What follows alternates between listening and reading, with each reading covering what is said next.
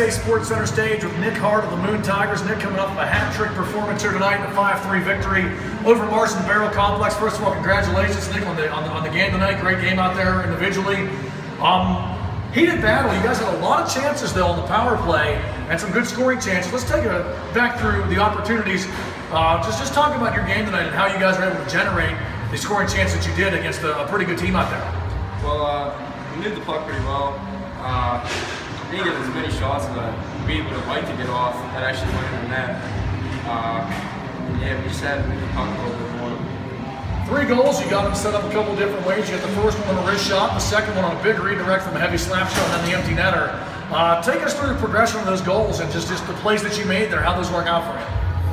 Well, it worked out.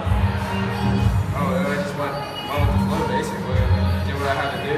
I was in the right place at the right time for all three of them. You guys bring back 17 players that had varsity experience last year. 12 of you guys are seniors. What are you expecting from this team this year? Because it didn't quite go the way you wanted to. You won the conference title last year, then the playoffs came, and you guys got upset in the opening round. What do you want to see this year, Nick?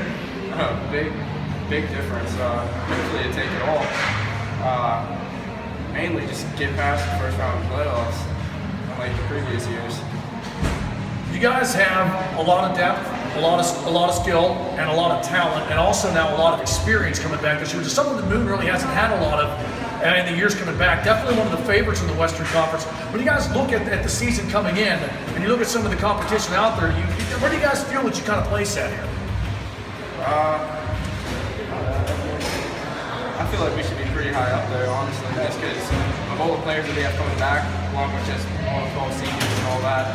I mean, a lot of the kids on the team this year were played varsity last year, so I mean, I think we should be pretty high up there. 16 goals to the team now through two games. What do you guys need to keep doing the rest of the way to keep filling that?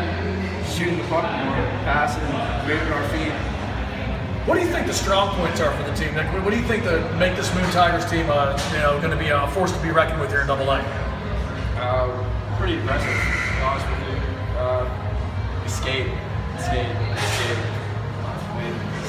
basically, we're, that's the only thing we do. What would you like to see individually? What would you like to accomplish this year? Um, well, this year, to be honest with you.